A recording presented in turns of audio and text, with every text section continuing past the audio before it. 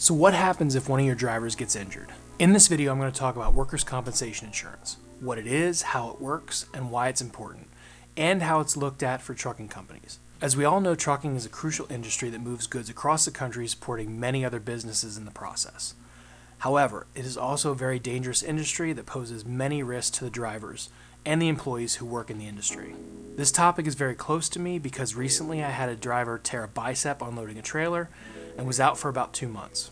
I have to be honest, I had no idea what to do. Luckily, the company that we have our insurance through is great to work with. They guided me through the process, and they were able to get his claim paid and his medical bills all situated. So, when your driver's injured, this is where workers' compensation insurance comes into play. Workers' comp insurance is a type of insurance that provides benefits to employees who suffer work related injuries or illness. These benefits typically cover medical expenses, lost wages, rehabilitation costs, and especially in the trucking industry, it's important to protect your employees and allows them to ensure their financial stability is solid in the event of an injury. Trucking companies all have a duty to provide a safe workplace for their employees. However, accidents can happen despite their best efforts. When this accident occurs, workers' comp insurance helps to cover the cost of the medical treatment, the lost wages, and it also provides financial support to the injured employee and their family. Because in the trucking industry, where the risk of accidents is higher than other sectors, let's say for instance you fall off a truck or you accidentally get hit by a car while changing a tire or, or you tear a bicep unloading a trailer. These are all industries that can happen to your drivers, and you want to make sure you're protected in that case. If you want to know a difference between a 1099 contractor and an employee, check out this video right here. One of the primary benefits of workers' compensation is that it protects trucking companies from costly lawsuits. Without insurance, a trucking company may be held liable for an injured employee's medical bills, lost wages, which can quickly add up to a significant sum of money. With workers' comp insurance, these costs are typically covered by the insurance company, which reduces the financial burden to your company and allows your company to continue running their business. It's also essential to note that workers' comp insurance is a legal requirement in most states. If your company fails to provide workers' compensation for their employees, you can face penalties, fines, and legal action. You definitely want to take this requirement seriously and ensure that you have adequate insurance coverage in place. When you're choosing your provider for workers' comp insurance, First and foremost, you should make sure that the provider specializes in trucking industry, that they have experience and they know what you're going through. You also want them to understand what unique risks and challenges are involved. You should also look provider that has competitive rates and comprehensive coverage. That, that would include long term disabilities and occupational illnesses. Another important consideration when choosing a agency for your workers' comp insurance is how they process your claims. If you have an accident, you want to make sure you have the most up to date information so that they can handle the claim quickly and efficiently. This is going to minimize the disruption to your business and it's also going to ensure that your employee is going to get the care they need as soon as possible. They should have a well established process to help your business through the claims process. When it comes to choosing an appropriate level of workers' compensation, there's no one size fits all. Each business is going to be unique, and therefore your insurance needs are going to be unique as well. Your insurance is going to be completely different for the person that works in the office, the person that may work on a dock, or the person that drives the truck. All three of those are going to have different coverages, they're going to have different wage structures, and they're, and they're going to have different policy premiums. One of the primary factors is going to be the size of your payroll for your company.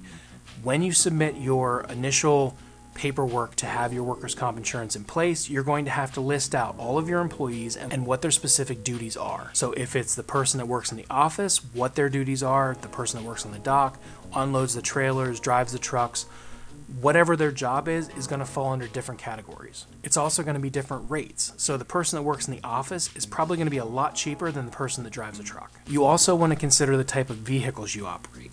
This is if you're running uh, flatbed, dry van, let's say you're doing drop and hook only, any type of that is going to affect your policy premium. If your driver is literally never leaving the truck other than to get out at the facility to hook up a trailer, you may have a less chance of them being injured moving loads. If you operate heavy duty trucks or haul heavy duty cargo, such as construction equipment or things like that, that they would be offloading, it may even have your premium be a little higher. Also, if you transport hazardous materials or fuel or anything that they could have a spill or caustic material that could burn or things like that is all going to impact your policy premium. Again, you're going to want to work with your agent to see what coverage is best for you. So we're currently insured through biBERK Insurance, and our premium runs around $11,000 per year for two employees. This is due to the fact that we as owners do not have to carry workers' comp insurance. My brother has to cover occupational hazard insurance through the carrier, but that's about 100 bucks a month. It's not very much. The workers' comp insurance for the drivers works out to be about $5 per every $100 in wages. I believe also since we had a claim this year, our premium went up by about 10%. To be honest, I should probably shop around, but also since we had a claim, I don't know if we can maybe next year. I know I'm probably going to get some comments below on how I should treat them as contractors and not as drivers to save money, fill in the blank for excuse, but honestly, when we started our business, my accountant advised against that. He stated that due to the fines, penalties, and if we're ever audited for having contractors, those would highly outweigh the cost of the insurance. And again, if our employee would have gotten hurt and he would have been a contractor, he could potentially have sued our company to get his medical bills paid for. Uh, and then it opens up another can of worms to when the state comes in and says, well, why is he not an employee? Long, long process. I think it's just easier to go with the workers' comp insurance, even though it's expensive. So to wrap it up, workers' comp insurance is an essential component of your company's risk management but especially in the trucking space. This is going to provide financial support to your injured employee. It's also going to protect your company from lawsuits and any of those issues that come along with the injured employee. Again, shop around, look for different carriers that offer different quotes.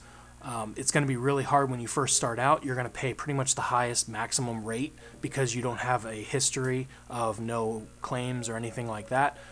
But again, to me, it's always been better to be safe than sorry. So thank you very much for taking the time to watch this video. If you like other videos on topics like this, let me know in the comments below. Or if there's any other topics, let me know what you'd like me to cover. I wish you the best of luck in your business. Until next time, have a great day.